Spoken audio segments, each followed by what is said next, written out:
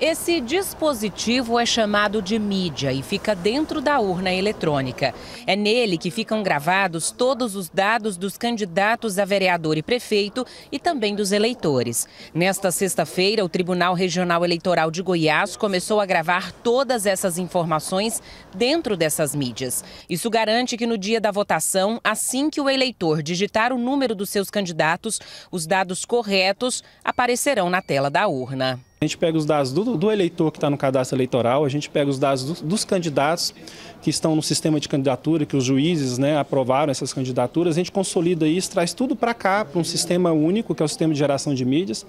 Esse sistema ele vai ser responsável por gerar as mídias, que são pendrives né, e cartões de memória, que a gente depois vai pegar e levar para a urna, porque a urna ela não tem ligação com a internet, então a gente precisa pegar essas mídias e gravar esses dados na urna eletrônica para que ela fique, fique pronta para o eleitor votar. Lá Isso que vai garantir para ele que na hora que ele digitar o númerozinho do candidato dele ali vai aparecer foto, nome, tudo certo. Ex exatamente. O evento é aberto ao público e foi acompanhado de perto por representantes dos partidos políticos, coligações, federações, Ministério Público e OAB Goiás.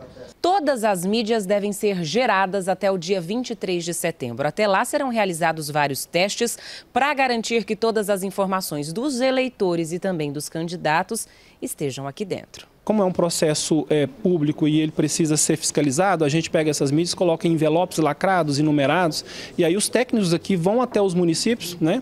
E nesses municípios a gente abre esses envelopes, pega essas mídias e gera a carga e lacre. A gente faz esse momento de carregar a urna com esses dados e lacrar né, com aqueles lacres que o pessoal já viu, né, que todos já viram na urna eletrônica. Depois disso, as urnas serão lacradas para aguardar o dia da eleição, que acontece em 6 de outubro. Ela fica lacrada, né, sem possibilidade de utilização antes das 8 horas do dia da eleição.